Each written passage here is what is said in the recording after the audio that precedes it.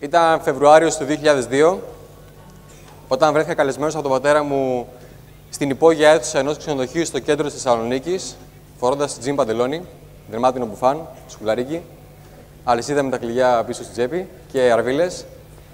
Και εκεί για πρώτη φορά άκουγα για το δικτυακό μάρκετινγκ. Βασικά, βλέποντας με κάποιος, θα μπορούσε να πει ότι ξέρετε, αυτός είναι, είναι ηγέτης. Στο σχολείο ήμουν μαθητή κάτω του μετρίου, ενώ αρκετά κάτω του μετρίου. Είχα αρκετές παρέες, γενικά, αλλά δεν ήμουν άτομο που ξεκινούσε συζητήσει με αγνώσεις πολύ εύκολα. Δεν ήμουν ποτέ ύψη του πάρτι, και ακόμα δεν είμαι, ε, αλλά ήμουν ανοιχτός στο να μάθω. Και ακόμα είμαι ανοιχτός στο να μάθω. Έτσι λοιπόν, μέσα από αναζήτηση, μέσα από εκπαιδεύσεις, μέσα από πολλή δράση, έμαθα και ανέθεσα κάποιες δεξιότητες, οι οποίες με έχουν βοηθήσει να χτίσω πολύ σημαντικές σχέσεις. Με βοήθησαν στο να έρχονται οι άνθρωποι και να θέλουν να με ακούσουν, αλλά το σημαντικότερο και αυτό που με ενδιαφέρει περισσότερο είναι να θέλουν να μου μιλήσουν. Ωραία.